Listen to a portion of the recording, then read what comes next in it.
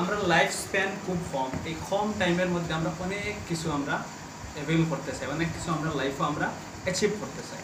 তো আমরা যদি খুব স্লো চলাচল করি মানে আমি কই ট্রেডিশনাল ওয়েতে যদি আমরা আমরা নলেজের ইমপ্লিমেন্ট করা যায় it will be very much tough to achieve what we want in our life এটা কামিং জেনারেশনগুলোকে আরও বেশি অ্যাপ্লিকেবল কারণ আমরা কমন একটা কনসেপ্ট আছে যে উইথ টাইম মানুষের হায়া বা আয়ু যেটা এটা বাড়বো বলে কোনো গ্যারেন্টি নেই। কারণ আমরা লাইফস্টাইলই এমন ঘুম থেকে উঠি এগারোটার সময় হায়ার উল্টা পাল্টা বিকজ অফ দ্যাট কিতাবার আমরা lots of problems rising in our bodies and finally what happening আমরা we're end up with small life span কিন্তু এর মধ্যে সব উইথ সব উইথে গিয়ে we must move faster and to move faster we need technology আজকে আমি ঘর থেকে এখানে আটিয়া হইতে পারি কিন্তু আটিয়া এলে ওই জায়গায় দুই ঘন্টা লাগে মানে বা এক ঘন্টা লাগে মানে suppose।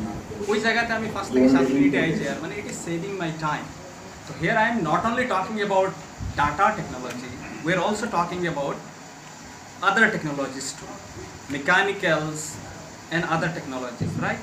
So will be what I can say uh, will be um, preparing our student in such a way so that they can think multidirectionally, they can prepare their own uh, models with ideas from science, right? আমরা science সবে পড়ি।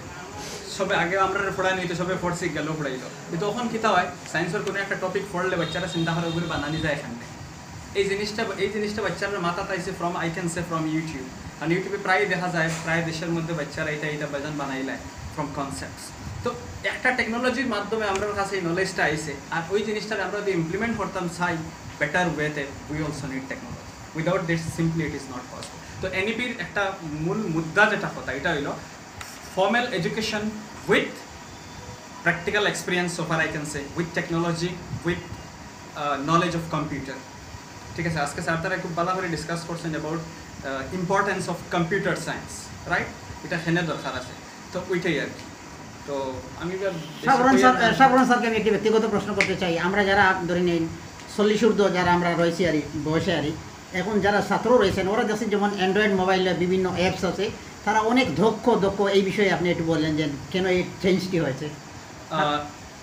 এটা এটা একটা কথা যেটা হচ্ছে এই যে সায়েন্স অ্যান্ড টেকনোলজির যুগে ছোট ছোট মানে যারা কলেজ কলেজ লেভেল ছাত্র আর তারা আমার আমাদের থেকে অনেক বেশি তারা এই আমরা অনেক সময় আমরা ভাবি অনেক জিনিস আমরা পারব না।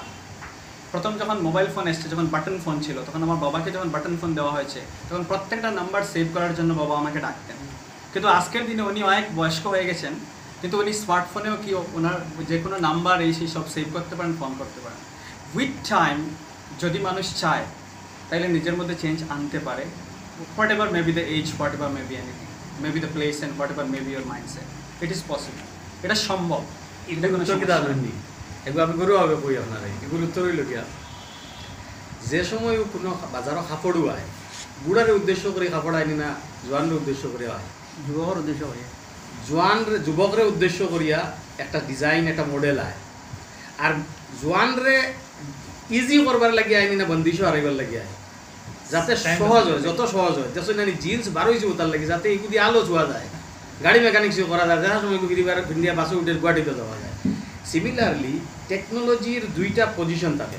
ফার্স্ট হইল গিয়া আমি ইয়থ নিউ জেনারেশনকে টার্গেট করতাম।